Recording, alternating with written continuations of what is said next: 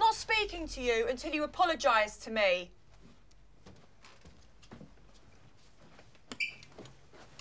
What am I apologising for? For what you said. What did I say? I'm not telling you if you can't remember. Oh, Becky! You said that thing. What thing? The thing. Oh, what thing? The thing. I don't know. The thing you said.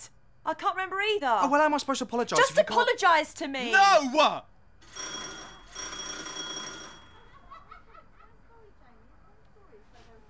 It's your door. I'm not opening it. Wasn't me that invited him back. Steve. Hey!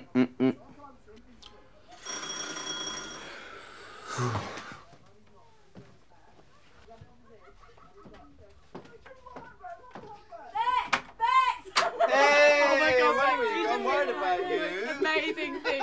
Jamie did the most amazing thing. Steve, it's so funny, right? We were just walking. Paul along was being sick in her head. I think well, so I saw this tramp, and I got up to him, and he's just sitting there. an some allergy shit, to like, something, begging, to like, drinking "Oh, too much. I think it's the yeast. Anyway, I'm And I come up to him, and he's like go up to asleep. tramp and And I'm looking at him, like trying to gauge, you know. Jamie he's grabs his hat and the tramp's And he's just, you know, with his hat on. Where's so I my take it, hat? grab it off his head. Where's He's my like, hat? hey, give me my hat back. I want my hat back. Oh, he legged it.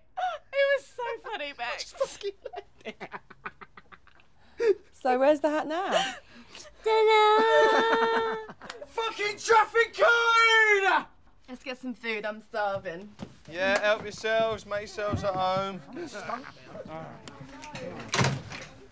I want a French fancy.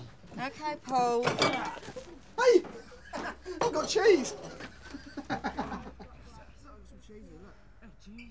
What? Is that called a traffic cone? I don't know. Isn't it weird when there's a thing you see every day? Steve. Apologise. Not